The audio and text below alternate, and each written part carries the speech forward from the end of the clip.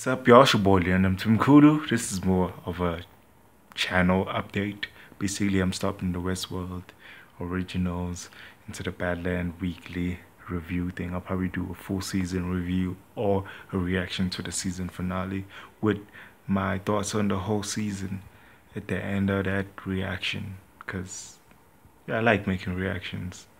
It takes time, but it will make me more proactive because just dropping thing after thing. I can't really put most of my creativity into it.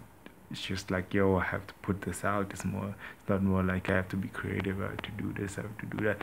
So give me time to rest and do other stuff because I have, you know, life outside this. This is not my, you know, main focus. I wish it was. I wish it paid me, but it doesn't. So that, that's that. I'm just giving an update on. Yeah. Hey, before I sign out, check out hashtag I'm a creator. It's a community of creators who create on YouTube. Just write hashtag I'm a creator on Twitter, on Facebook, even on Instagram, I think.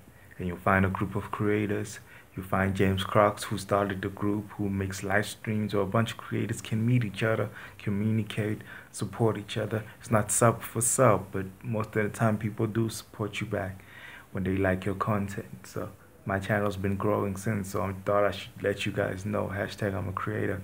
Deuces.